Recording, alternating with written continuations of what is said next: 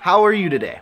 I'm doing wonderful. How are you? Good. I was just uh, wondering if you could explain to us the situation that happened and uh, some of the things you experienced. Uh, I believe it was this past last week that happened. Yes.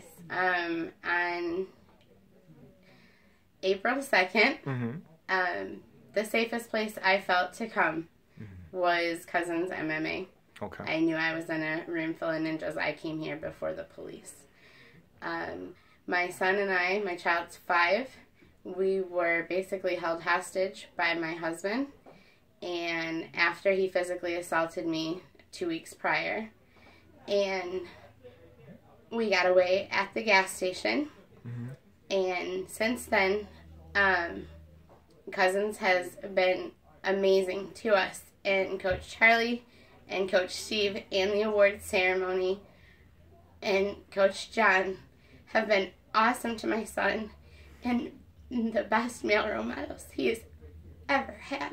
Thank you so much. Um, we really appreciate everything that you guys have done for us.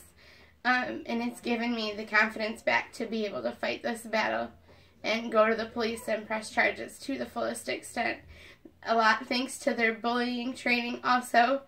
We know that when somebody hurts you and you tell them to stop and they don't, you tell everyone. And this time I'm not afraid to face my attacker. And my son is five years old and he knows that he doesn't have to be afraid either. Absolutely.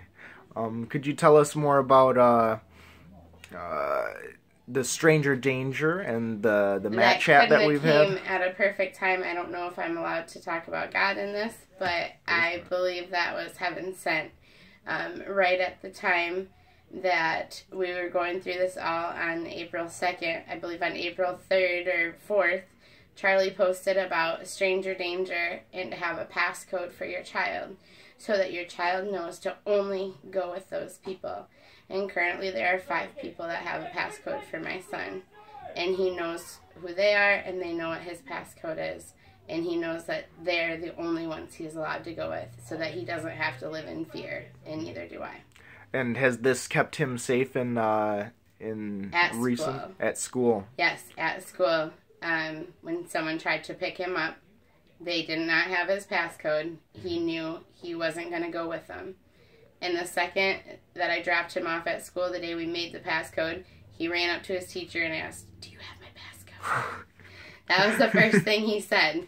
So he feels safe at school, he feels safe at Ninjas, and I can't wait to take the self defense class. All right. Thank you so much for sharing your story. We really appreciate it. And honestly, we're very happy to have you guys. And we're so happy to be able to help you guys and everything. Uh, so thank I you very much. I appreciate all the male attention that my son is getting from here. He does not have a father, and he's getting strength and love and male attention from here. And I couldn't have asked for a better place. Thank you so you. much.